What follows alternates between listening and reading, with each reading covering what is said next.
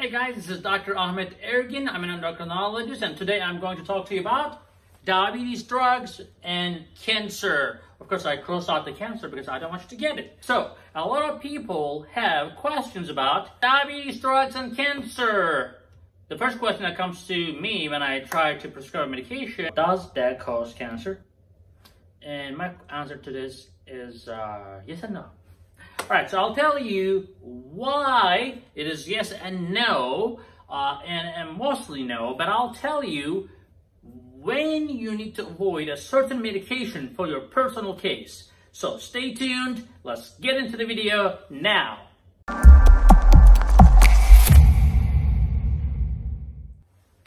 All right, diabetes drugs. So we have a lot of drugs to cover up today. So I'm going to classify these drugs and you will easily identify what you are on. So we have common drugs. What are they? Metformin. So that drug is commonly questioned about cancer, right? We're going to go over that. What other drugs are there? Sulfonylureas. I'm going to call them sulfa. It's, the name is too long man, to write it down. So these are glipizide, glimepiride, anything that starts with GLI, GLI, okay? If you have a drug that starts with GLI, that is sulfonylurea, I call them sulfa, okay? And the third class is GLP-1 class. This class has been very, very popular recently, and there's a lot of questions about these drugs. What are they? Ozempic, Trulicity, Bydureon, Byetta, Victoza. These are your drugs, okay? Ozempic, Trulicity, etc., etc. So you just heard. So, all right. So the next one is SGLT2 inhibitors. These are the medications that make you pee the sugar. What are they? Invokana, In Invokana, Farxiga, uh, Jardiance, and Steglatro. All right. For a second, I had a uh, uh, brain pause. All right. So these are the main medications. Now, of course, we have insulins, right? Insulin. I hate it. I hate insulin. Insulin is like a, uh, typically what we call is like a necessary evil. Sometimes we have to do it, but most of the time, I try to avoid insulin. I try to get people off the insulin because if anything, insulin is the real deal here when it comes to cancer. And we'll talk about that right now. All right, so let's start with metformin. Now, guys, I'm going to make it easy and sweet for you. I'm not gonna like, you know, take your time too much here. Metformin does not cause cancer, period. Metformin actually reduces cancer, guys. Please remember that. Metformin reduces cancer. This has been studied 100 times because studies show consistently patients with diabetes who are on metformin are much, much less likely to die from cancer compared to patients who refuse to take metformin or patients who cannot take metformin for one or the other reason. Those people end up with more cancers. Okay? Remember that. This has been studied so many times. Recently, there was a recall because some of the companies actually didn't do a good job. They contaminated metformin with something, uh, and that was potentially carcinogenic and FDA, thank God, is toughest, one of the toughest regulators in the world. FDA in the United States. That's why any drug in the world comes to the United States last. Even if it is produced in the United States, it will be approved in Europe first before that it gets approved in, F uh, in the United States because FDA has very strict regulations. Uh, unless somebody interferes, like a president. But uh, other than that, you know, it's very good. Uh, so sulfonylureas, glipizide, glimepiride, uh, gliclazide, whatever, the, in some countries there are different names. Uh, glimepiride, glyburide, and glipizide is the most common ones in the United States. Now, I'll tell you a secret here. There's no study to say that the glipizide actually causes cancer. Uh, but, but the thing is this. Um, anything that increases your insulin in your body. And there are a lot of studies that says excessive insulin is the main reason for cancer. Because insulin is a growth factor, okay? If you didn't know that, you will you can ask around a lot of people actually, especially bodybuilders, will even abuse insulin to build muscle. The insulin is a builder. If you work out, you will build muscle, and if you eat, you know, a lot of protein and sugar, etc., because it's an anabolic hormone. If you're not an athletic person, you will build fat. Yeah, you will build something. If it is not muscle, it's going to be a fat. So, insulin makes things grow.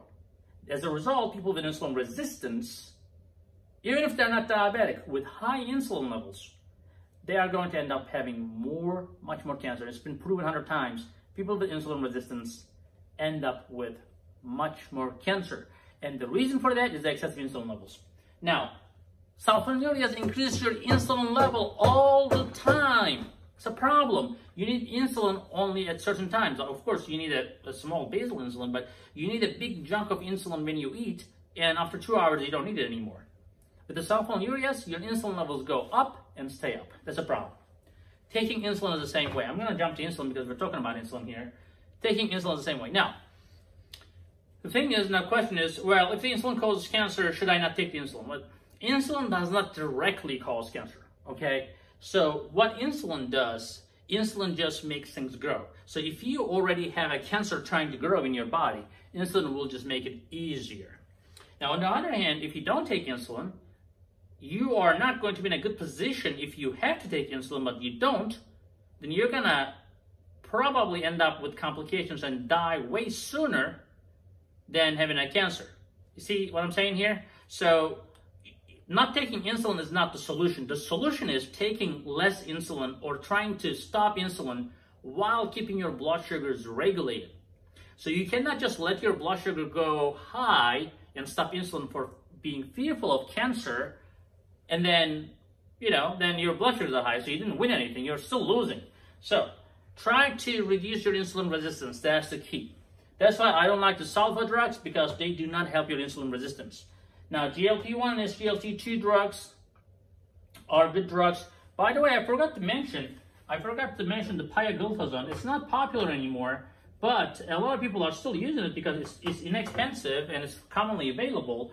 Pioglitazone, pioglitazone is another, I call this pio. It's, it's, a, it's a long name, so just call it pio, make it easy. Uh, pioglitazone is also another drug uh, that actually is very good for uh, to reduce the risk of cancer, which we'll touch, touch have a touch base. But uh, GLP-1 and SGLT2 drugs uh, are the two uh, two class. GLP-1, remember the Ozempic, Trulicity, or uh, Victoza, Rybelsus. Rybelsus is actually the, the, the latest addition, with which is the oral form of Ozempic, which is wonderful because people used to shy away from injections, but now we have a pill for it. So GLP-1, the pill form is Rybelsus, and there's a bunch of other injections. And the GLP-1 class will make you lose weight, will reduce your insulin resistance, all this good stuff. But on the label, on these drugs, on any drugs, it could be Ozempic, Rybelsus, Trulicity, whatever it is, you will see that they'll say, oh, you know, the rats had cancer. The question is, are you a rat or not? That's the question. If you're writing on people, you may get cancer. I'm just kidding. All right, so the thing is, rats are different animals, okay? We are thinking animals, yes, we are. But the rats are very different. So, the rats have receptors that are different than us, okay? And um, especially for medullary thyroid cancer, which is super rare thyroid cancer, and pancreatic cancer, uh, which is also a rare, although it's deadly, but it's super rare cancer. Um, now, in human studies on tens of thousands of people, we do not have a signal to say that any of this GLP-1 class, any of these medications, again, I'm talking about the whole entire class.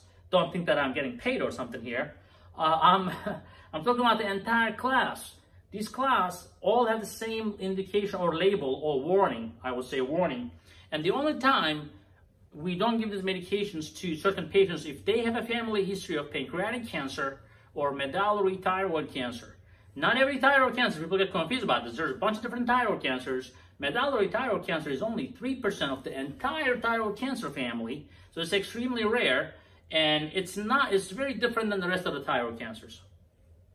So, if you have a family history of pancreatic cancer or medullary thyroid cancer, I do not give it to patients, even if they are asking for it. And the reason for that is liability. I don't think they cause cancer, but guess what? I am not gonna get sued for something stupid like this, and I am not going to give it to you. I'm sorry. And it is in there. It says somebody has a family history of it. Don't use it. And maybe there's something. Maybe if you're really prone to it, like you know, rats are prone to it. But if you're a human being who is also prone to it due to family history, then you're not gonna get it. Uh, so uh, that is one thing with GLP-1. So if you, as long as you don't have that family history, I am very comfortable to give this to anybody in my family. I love these drugs. Uh, in my opinion, Ozempic and Rybelsus is the best, but um, you know, all, all the whole the all medications in that class is good. SGLT2 inhibitors, anything like Farxiga, Jardiance, uh, Invokana, Steglatro. These medications also can reduce your insulin resistance, can help you lose weight, and uh, it reduces your insulin level overall. So as a result, I think they will help.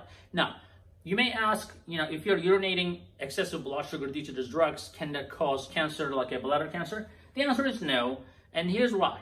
There is actually a genetic mutation in, in some people where they cannot really hold glucose and they end up urinating glucose and that's a defect. Normally, normal people reabsorb glucose from their kidneys, but some people cannot and, and there's a defect in their system. But they never get uh, bladder cancer or anything like that in those people who have defective um, mutation.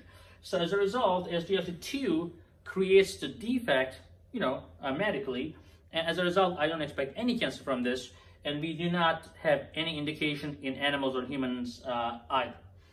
Pioglitazone is another medication that works similar to metformin. It makes your body more sensitive to insulin. So as a result, you will have less insulin in your body. As a result, you will have less cancer incidence.